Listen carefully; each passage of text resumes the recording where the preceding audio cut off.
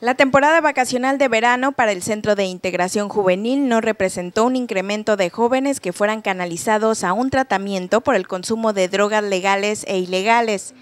Roselena Sánchez Moraila, directora del SIG, señaló que durante esta temporada muchos de los jóvenes que llevan un tratamiento para dejar la adicción lo suspenden porque salen de vacaciones.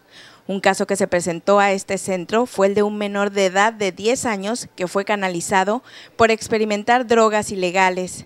Este año, bueno, habíamos tenido eh, pacientes referidos de 12, 13 años de menor edad, pero en el mes de agosto sí nos llegó un paciente, un menor de 10 años, este, que está que está siendo atendido pues aquí en las instalaciones. Este tiene consumo de droga ilegal, entonces, pues qué bueno que acude la familia y él a, recibir el tratamiento.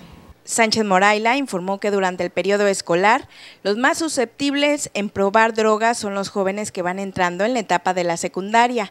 Es por eso que recomienda a los padres de familia estar más al pendiente de sus hijos para que no se desvíen. Pues es estar, este, ahora sí que apegarse, ¿no? A todo lo lo que se requiera para un buen desarrollo de sus hijos.